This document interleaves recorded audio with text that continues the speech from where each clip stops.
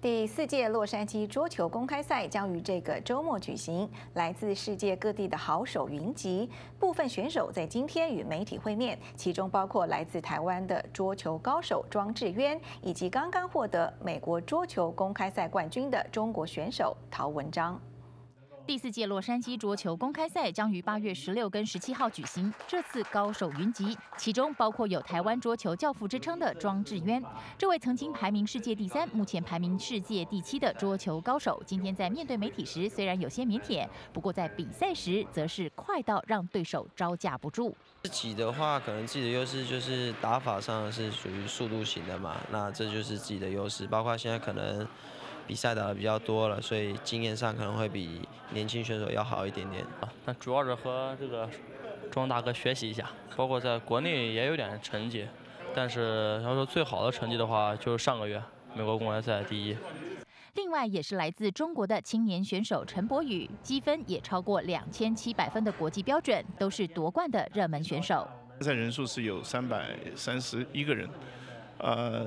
比过去三年的这个参赛人数还要多很多，将近七百八十个比赛的场次。由于国际桌坛提出划时代的变革，有百年历史的赛璐璐桌球将会走入历史，取而代之的是体积较大的塑胶球。虽然这次洛杉矶桌球公开赛没有使用塑胶球，不过这些世界级的运动选手都已经开始跟新的塑胶球培养默契。本来那个球好像是有毒啦。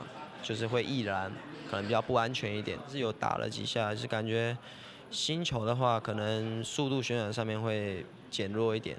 除了安全上的考量，世界桌球也考虑到亚洲人速度快，在世界级比赛囊括大小奖项，因此改用体积较大的塑胶球，空气阻力大，对以力道取胜的西方桌球选手来说比较有优势。应该是一个优势，但是中国乒乓球队他们的适应能力是非常快的。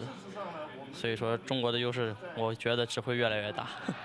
洛杉矶桌球公开赛获得美国桌球协会的认证，评定为四星级的比赛。今年比赛将在这个周末于埃尔蒙蒂市的 LABC 洛杉矶羽球俱乐部举行，将有来自亚洲、欧洲、美加地区的奥运选手参赛，赛事精彩可期。